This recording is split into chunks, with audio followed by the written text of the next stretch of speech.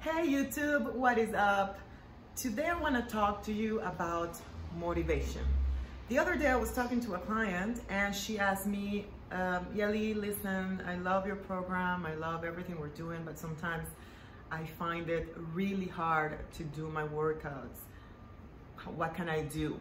So guys, there is something we need to know. Motivation, it's not always there. It happens to everybody.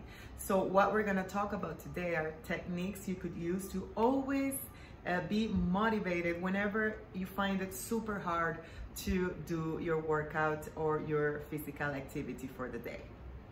So number one, you are going to think about someone you admire, okay? This person could be a celebrity, could be a CEO, could be anyone you admire, um, a sports personality. In my case, I love J-Lo. Look at that body. Um, and whenever I feel tired or I start to come up with excuses as to why I should just take the day off and do that workout tomorrow, I think, what would she do? Would she skip the workout? Or would she just go for maybe a shorter version or a less intense version? So that's something you could do. Think about someone you admire and think, what would that person do um, in your shoes? Would that person just be comfortable with the fact that, you know what, I'm just gonna do tomorrow, let me just turn on the TV? Or would that person be like, you know what, I said I was gonna work out today, I'm gonna do it. Number two, think about the person you want to become. So this is something that's uh, that's really important for us to understand. We are our habits. We are what we do daily. Okay, so example, if I want to be a chef or a great cook, I need to cook almost every day. I need to practice my skills. If I want to be a painter, if I want to be able to say, I am Yelitza, I am a painter, then I need to paint every day. If I want to be a reader, I need to read. If I want to be a writer, I need to write. If I want to play an instrument, I need to practice every day. If I want to be a physically active person, I need to be physically, physically active almost every day, okay? So think about the person you want to be. You cannot call yourself a physically active person if you keep on procrastinating and avoiding the workout, all right? So this, it's gonna, it goes hand on hand, hand in hand with my next point, which is think about your goals. So maybe you guys have a goal, a specific goal.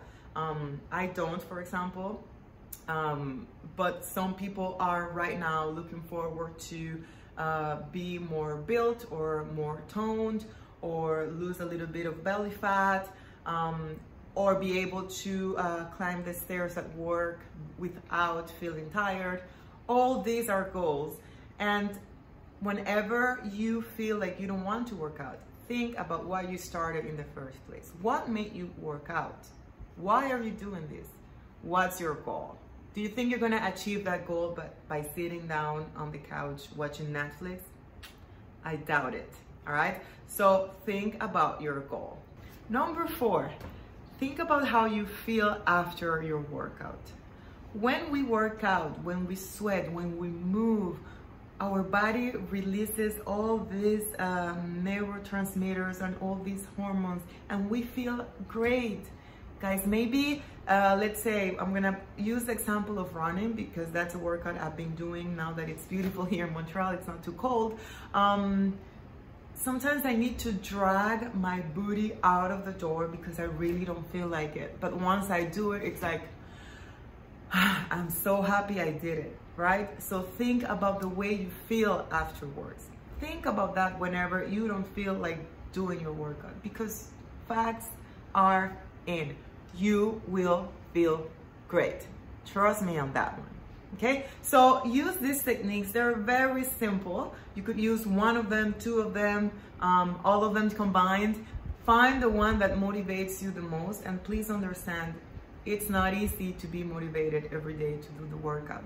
It's not easy and I understand.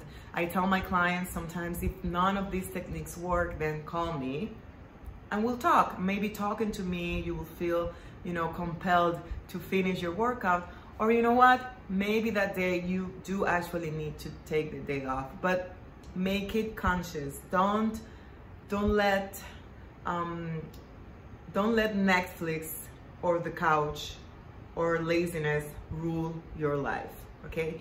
If you actually thought about your options and decided you're gonna skip your workout today, make it be for the for a good reason. Maybe you need to rest, maybe you don't feel well, maybe your foot hurts today. But if not, there is no excuse. You should get at least 150 minutes of physical activity per week. It's totally doable. And if you need help, I'm there for you. Thank you guys for watching this. Um, let me remind you to follow me on social media, Instagram, Facebook, subscribe to my YouTube channel, and also you can go to my website, yelitzagarcia.com for more um, health and wellness tips. Love you. Ciao, ciao.